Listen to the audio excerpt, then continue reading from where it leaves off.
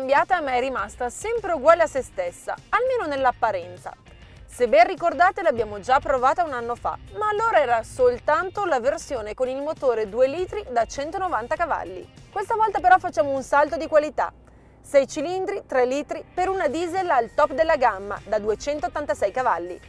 Ampiamente in zona superbollo purtroppo, per l'esattezza 683,70 euro di tasse l'anno. È l'Audi Q5 S-Line Plus, basata sulla piattaforma MLB Evo, per intenderci quella dedicata ai modelli con motore longitudinale, che abbiamo già visto per esempio per l'Audi A4 e Q7. Lasciamo dunque da parte gli esterni perché nulla è cambiato rispetto ad un anno fa, ma se siete proprietari di una Q5 di prima generazione, per intenderci quella costruita in Germania, allora sì che noterete delle differenze.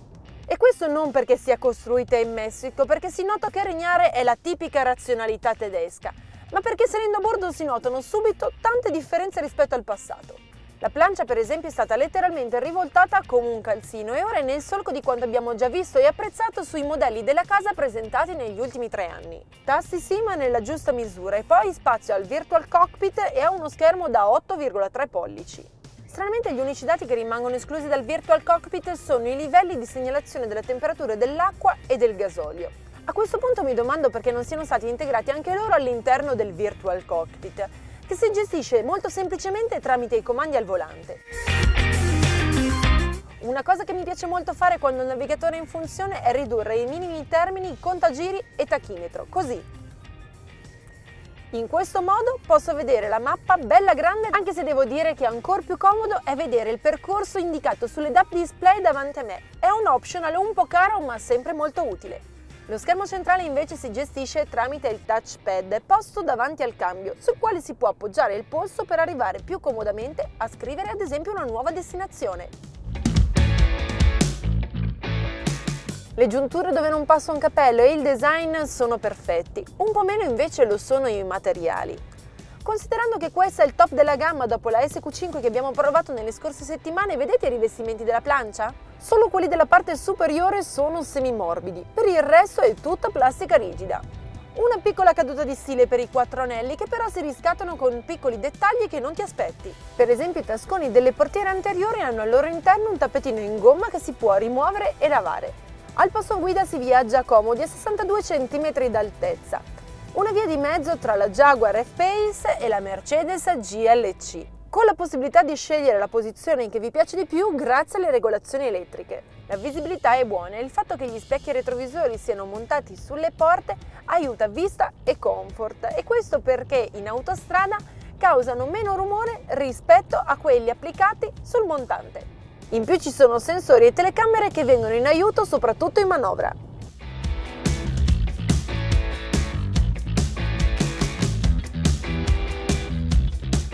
Da guidare la Q5 è molto piacevole. Il 3000 TDI è silenzioso, privo di vibrazioni e si fa apprezzare perché è impetuoso. Nonostante sia un po' in sovrappeso, ricordiamo infatti che la Q5 supera le 2 tonnellate, nello 0-100 spunta un buon 6.1 secondi. E sempre 6 secondi sono quelli che le occorrono per raggiungere i 120 km/h da 70 all'ora. Davvero niente male e questo grazie all'azione prontissima del cambio. Anche il comfort è eccellente su qualsiasi tipo di asfalto e questo grazie alle sospensioni pneumatiche ad aria. Sono regolabili tramite i settaggi Drive Select in base alla modalità di guida prescelta. Permettono alla Q5 di assorbire al meglio tutte le asperità dell'asfalto senza però andare a compromettere la sua capacità di limitare il rollio. Sono un optional ma perfette per chi abita in località dove magari l'asfalto non è sempre perfetto oppure se vi piace guidare con un assetto un po' più controllato. Buoni risultati anche in frenata perché alla Q5 bastano meno di 40 metri per fermarsi da 100 km h Il cambio Tiptronic permette cambiate quasi senza interruzione della spinta e questo rende la guida davvero molto fluida. Lo sterzo invece manca un po' di incisività, ma ben si adatta a questa Q5.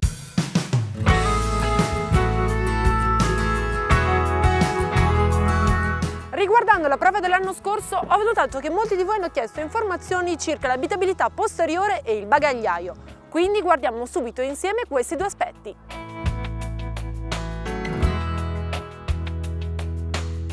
Sul divanetto posteriore si viaggia comodamente in due, volendoci postare anche la terza persona, ma complice anche la presenza della trazione 4x4, è meglio che il quinto passeggero sia un bambino.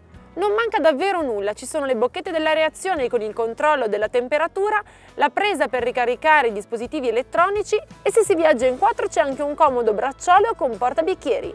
Come vedete di spazio ce n'è in abbondanza anche per i passeggeri più alti, nessun problema per gambe e testa. Ma ora andiamo a vedere il bagagliaio.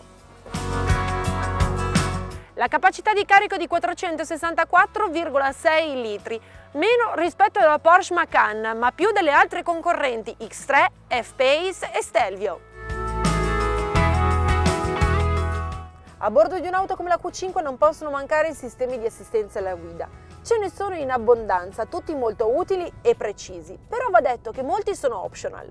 Sull'esemplare in prova ci sono ad esempio il Gem Assist che alle basse velocità permette di mantenere andatura e direzione in maniera autonoma e il rilevamento veicoli nell'angolo cieco, la cui presenza viene indicata in maniera molto evidente qui sugli specchietti retrovisori.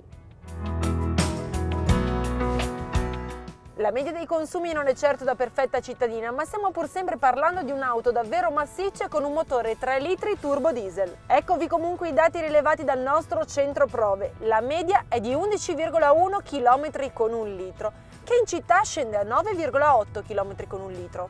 Anche il prezzo non è dei più bassi. Per la top di gamma che sto guidando oggi infatti occorrono 65.300 euro, ma per la entry level il prezzo base è di 44.400 euro. Riassumendo possiamo dire che la Q5 di certo non colpisce per le sue linee ormai davvero molto note, però è un buon mix tra prestazioni, assistenza alla guida e tecnologia. Ed ecco qui riassunti i suoi difetti e i suoi pregi. Lo sterzo meriterebbe una risposta più pronta e il bagagliaio ha qualche limite. Ottime invece le prestazioni del 3 litri e la plancia è sempre da 5 stelle. Allora, cosa ne pensate di questa Q5? Attendo i vostri commenti. Alla prossima, ciao!